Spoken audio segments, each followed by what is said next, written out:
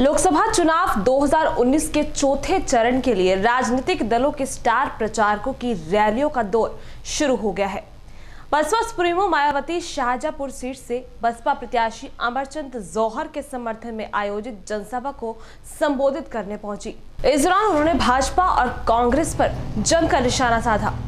मायावती ने कहा कि कांग्रेस केंद्र और कई प्रदेशों की सत्ता से अपनी गलत नीतियों के कारण बाहर हुई। कांग्रेस के शासनकाल में न तो गरीबी दूर हुई और न ही बेरोजगारी।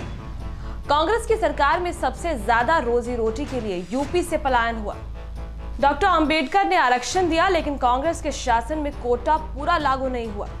जब कांग्रेस ने अपनी ज़िम्मेदारी ही नहीं निभाई, तब अलग होकर बसपा पार्टी बनानी पड़ी।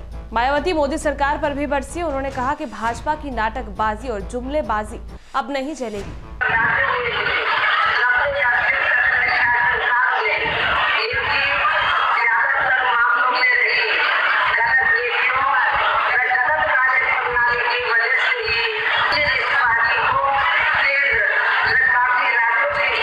Thank you.